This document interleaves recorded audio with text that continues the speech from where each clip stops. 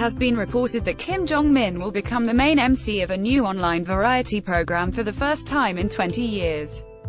Kim Jong-min, who is a member of the K-pop group Coyote, is most known for his roles in the variety program One Day Two Nights as well as Netflix's recent variety show Busted.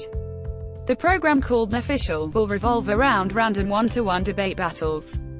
The first contestant to face Kim Jong-min in the one-to-one -one debate battle is confirmed to be Jessi and will be followed by other famous entertainers including Kim Hee-chul, Ha-ha, Hong Jin-young and Dia.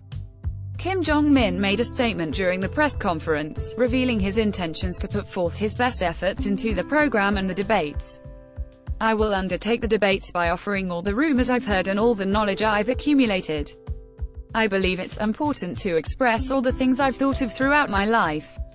Kim Jong-min ad choices advertising in red invented by Teets moreover, the producer of the program, Kim Joo-hyung, complimented the entertainer on his skills, further raising expectations for the new program. I've completed a few recordings with Kim Jong-min and his skills were better than I expected. He didn't win the Best Comedian award for no reason. Kim Joo-hyung netizens have been supporting the entertainer on his new project and encouraging him on. I love Kim Jong-min. Kim Jong-min is a genius in disguise lol.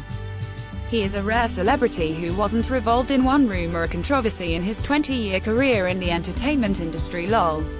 I hope entertainers with a good character like Kim Jong-min will become more popular. I hope Kim Jong-min continues to do well.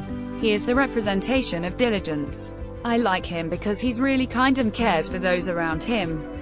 I hope it succeeds. Sounds fun. OMG it's going to be so funny. Kim Jong-min will be so good at this.